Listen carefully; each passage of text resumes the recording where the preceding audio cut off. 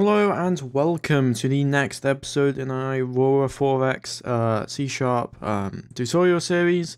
In this episode, I'm going to be going over the naval organization window as well as the mechanics behind it. This will be primarily for newer players and will be part of the newbie uh, starter playlist, uh, so feel free to get into that.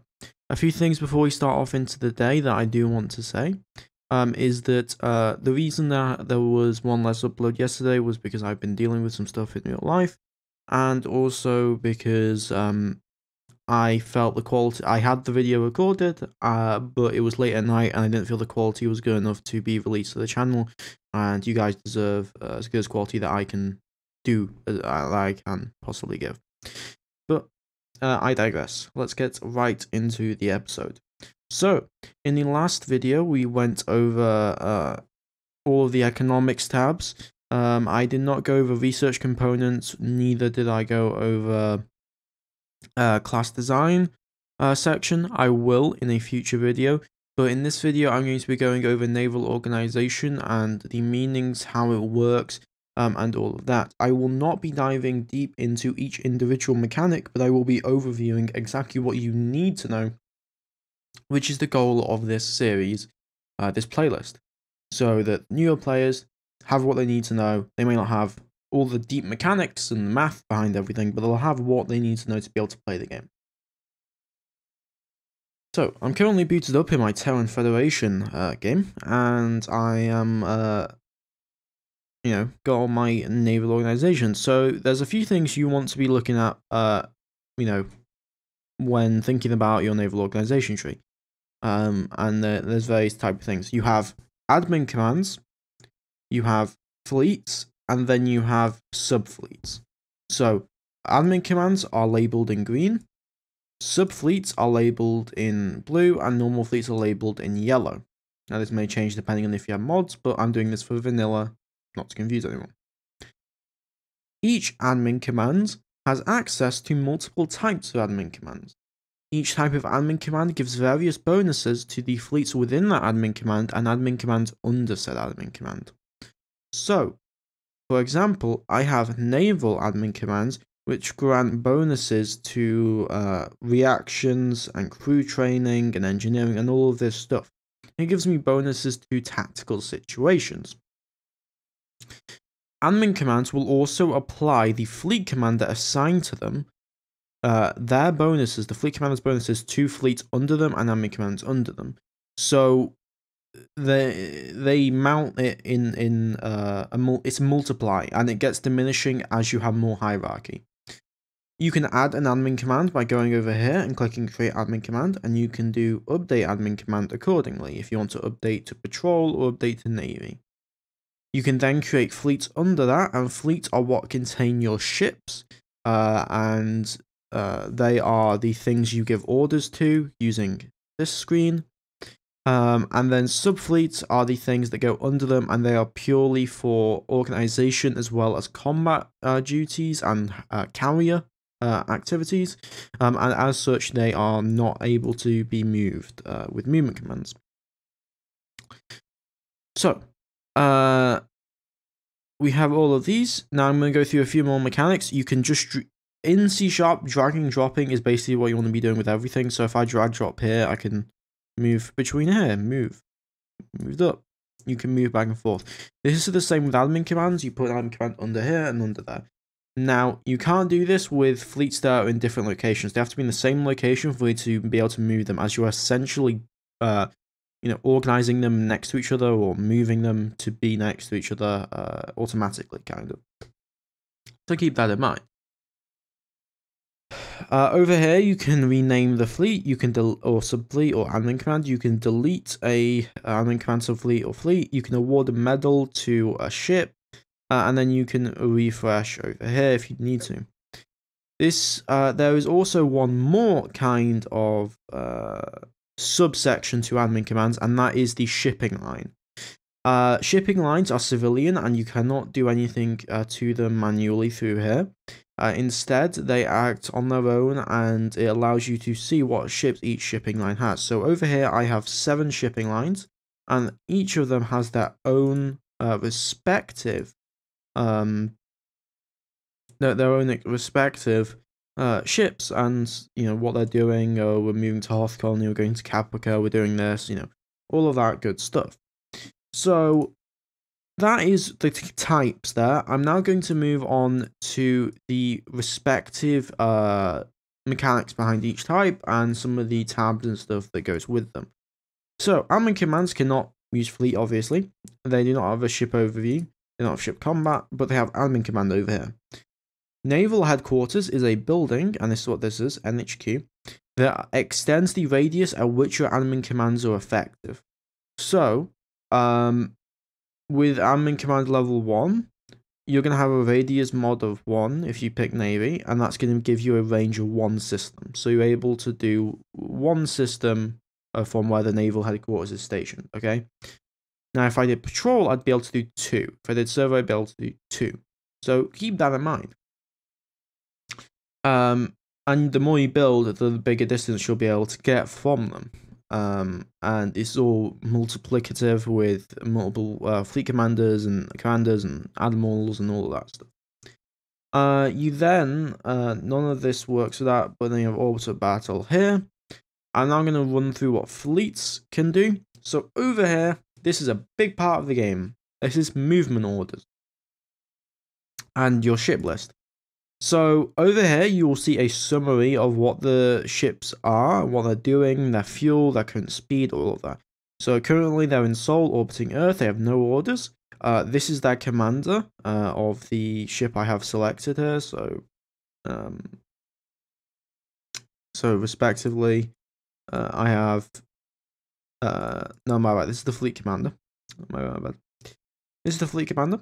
Uh, this is the speed that they're going. This is the bonuses they have. Uh, this is the uh, protection value that they are giving. So protection value uh, is what planets need to be able to deal with unrest. I went over that in my last video, uh, which was on economic screen. So if you need to go through that, you can. Uh, then it has no default orders, and then it shows what's in the fleet respectively.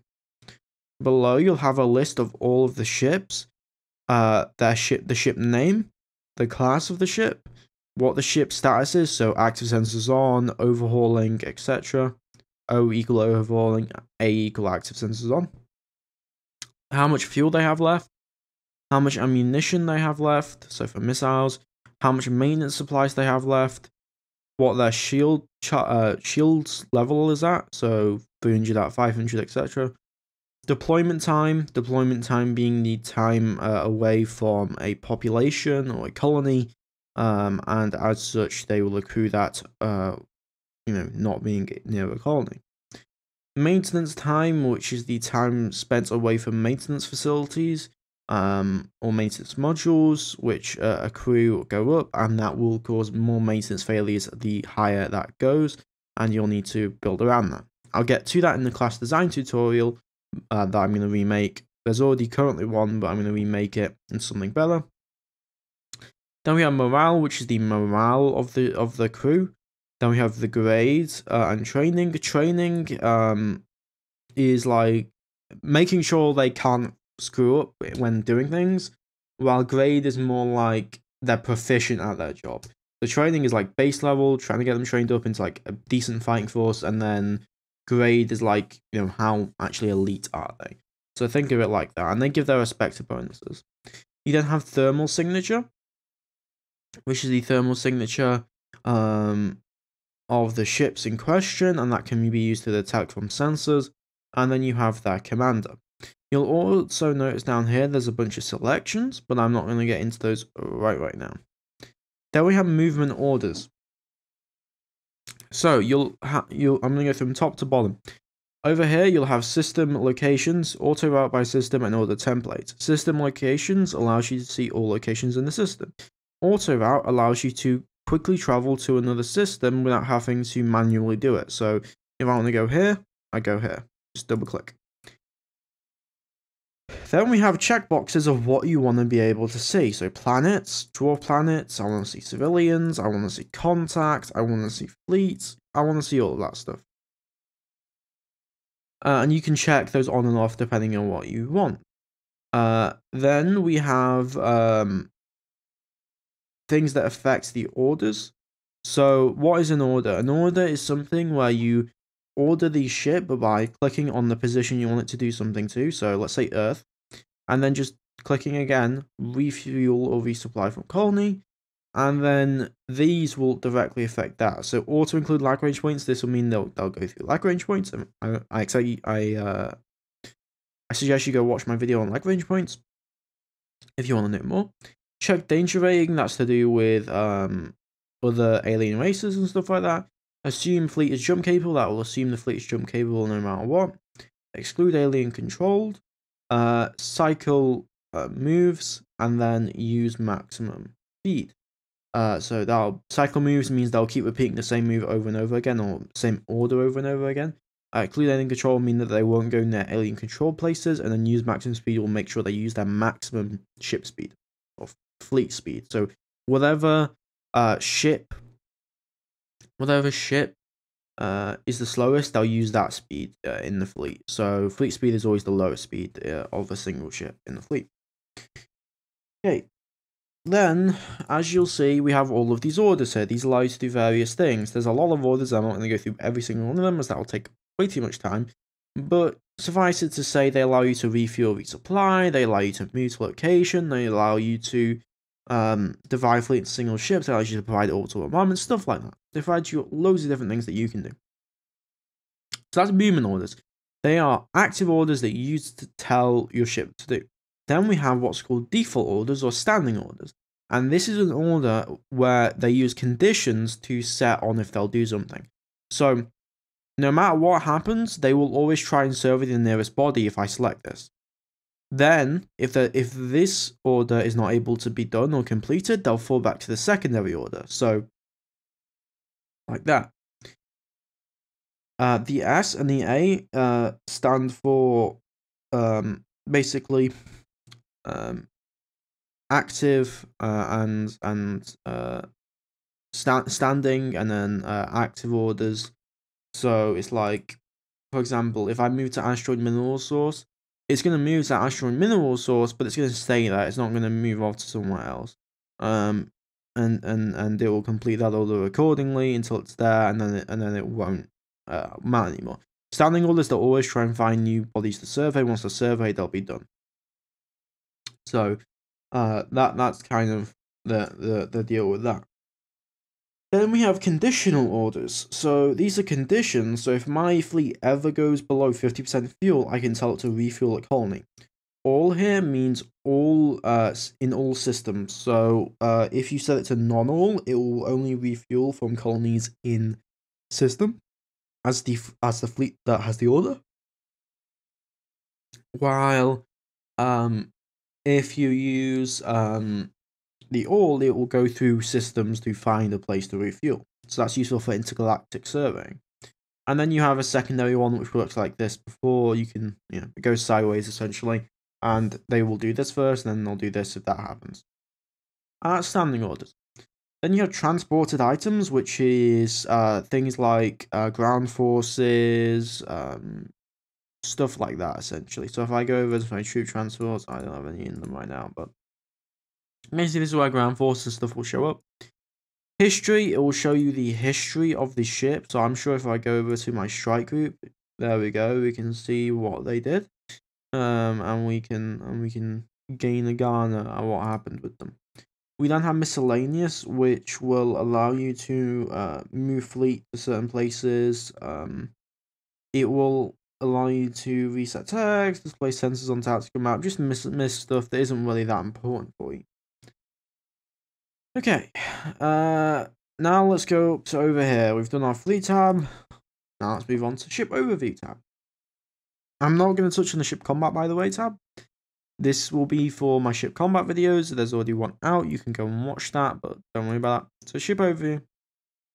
If you same kind of overview uh, as for up here, then you have the design, so it will show you the design of the ship that's currently in service, same as the class design window. Then you'll have the class design display, your ordnance template.